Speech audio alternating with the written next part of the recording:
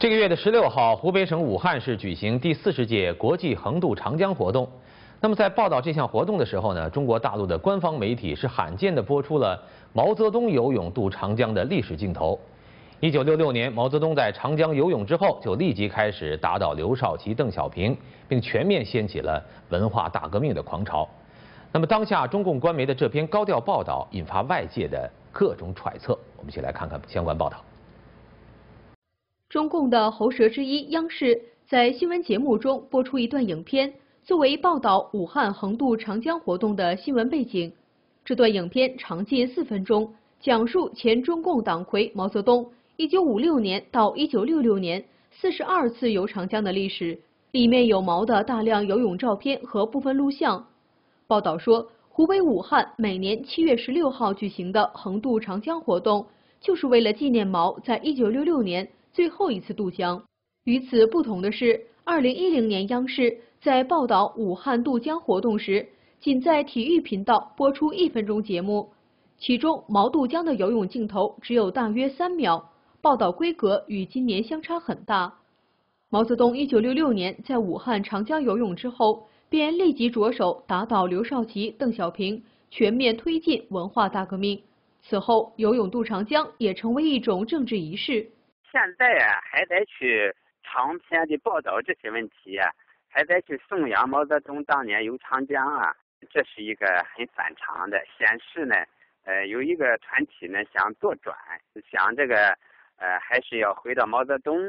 呃那个时代。大陆前新华社记者高瑜也谈到，毛泽东当年为了巩固权力，发起各种政治运动，大搞人民公社、大跃进，直至一手制造文化大革命。给中国带来巨大灾难。六六年就是文革开始嘛，所以也就是这样了，就说明现在坚定不移的，呃，要把毛泽东的一切错误都抹过去，呃，以求得当今的中共政权的合法性。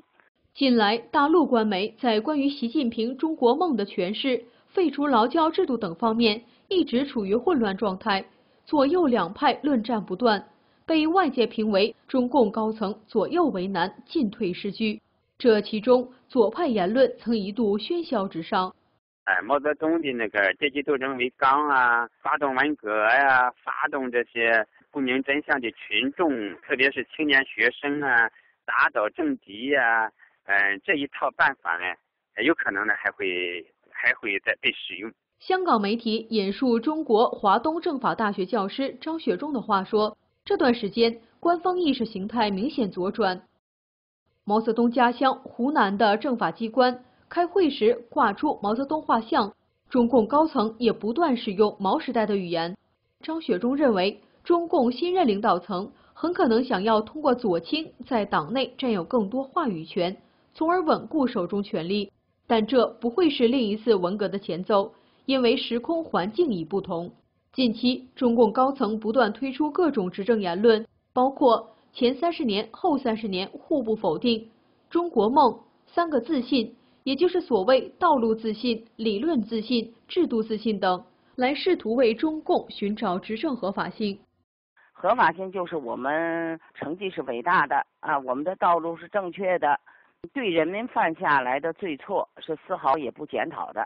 七月十一号，中共总书记习近平重回三十多年前起家的河北正定县。并到有象征意义的中共老巢河北省平山县西柏坡村参观，也曾引发外界关注。